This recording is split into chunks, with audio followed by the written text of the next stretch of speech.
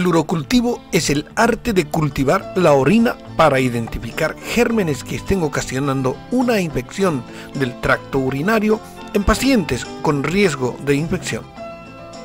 La toma de muestra es fundamental para que puedan obtenerse resultados fiables. Las mujeres tienen que obtener la orina después de separar los labios vaginales de manera que el chorro de orina no toque los genitales externos. Los hombres deben realizar la retracción del prepucio de manera que el chorro de orina salga primero. Para hacer este análisis debemos comprar un recipiente estéril de la farmacia. Una vez que tengamos la muestra y llevamos al laboratorio, iniciamos el urocultivo.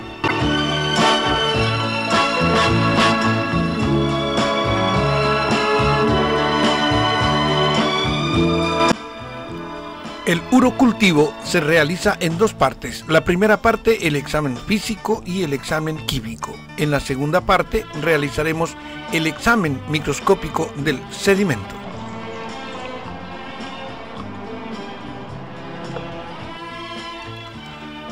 Llenamos la probeta con la muestra de orina, introducimos la tira con los diferentes reactivos para hacer el examen químico y luego comparamos con los distintos colores que trae el recipiente de estas tiras reactivas para identificar todos los valores normales de la orina. Esta orina es normal. La segunda parte es el examen microscópico del sedimento. Cargamos dos tubos, cuatro en realidad, cónicos que se van a introducir en la centrifugadora para precipitar las sustancias más pesadas el agua y las cuales van a quedar en la punta del tubo cónico y nos van a servir para hacer la revisión del sedimento. Cargada la centrífuga, la encendemos. No se debe hacer con la puerta abierta, pero para demostrar por el video hacemos lo siguiente y centrifugamos a 3000 revoluciones por minuto durante 10 a 15 minutos para poder obtener un precipitado. Al cabo de los 15 minutos, las revoluciones bajan y ya tenemos lista nuestra muestra. Centrifugamos cuatro tubos cónicos, dos son para realizar el examen directo del sedimento y el frotis para realizar la tinción de Gram. Los otros dos tubos son muestras de referencia para realizar la siembra en el medio de cultivo posterior al resultado del examen directo y el de la tinción de grano. Una vez centrifugadas, sacamos los cuatro tubos cónicos, desechamos el sobrenadante para quedarnos con el sedimento y con un asa de platino extraemos la muestra, extraemos una, dos gotas a cubrir el portaobjetos para luego tapar con un cubre objetos.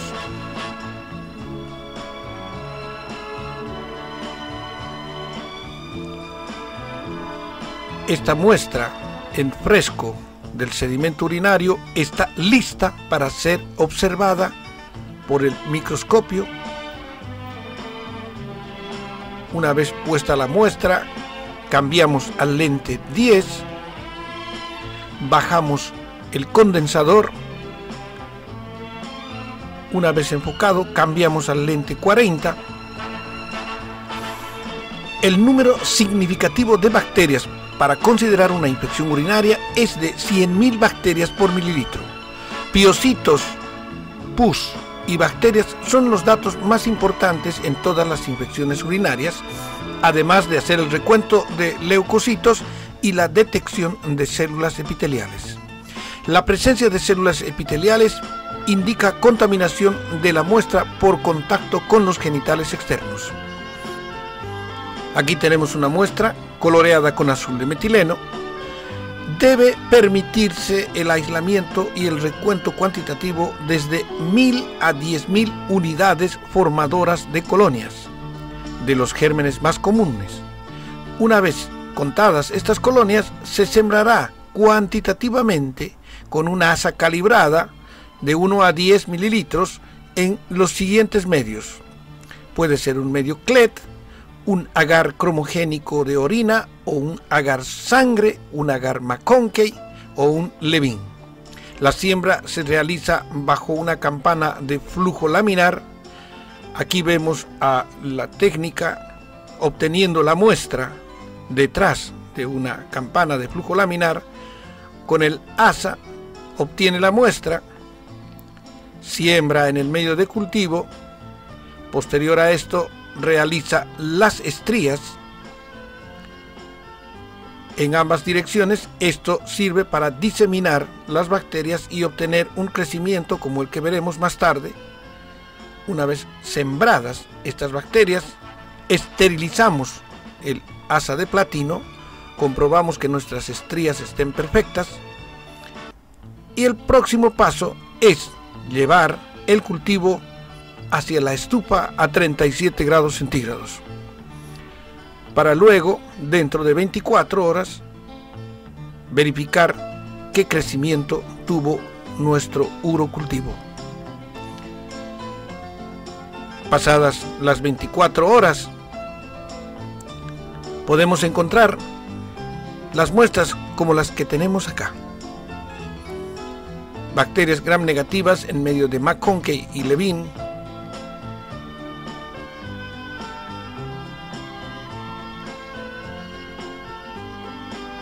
bacterias como la E. coli, el Staphylococcus aprophyticus,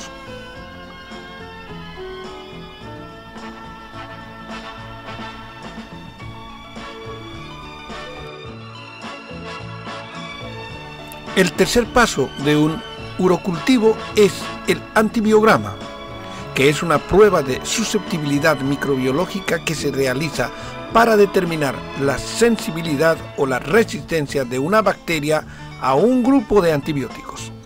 Las técnicas de antibiograma son muy utilizadas en el laboratorio para verificar la capacidad de los antibióticos de detener su crecimiento, bacteriostáticos o de matar a la bacteria, antibióticos bactericidas. En esta muestra tenemos dos medios de cultivo, las bacterias sensibles no crecieron alrededor del disco. Se observa un halo en la caja de Petri de la derecha. En cambio, las bacterias resistentes crecieron sobre los discos y los halos que se observan son muy pequeños. Esa es la gran diferencia entre sensible y resistente y este es el famoso antibiograma que se debe realizar siempre como un protocolo para poder encontrar la eficacia en el tratamiento de nuestros pacientes. En un próximo video explicaremos con más detalle cómo se realiza un antibiograma.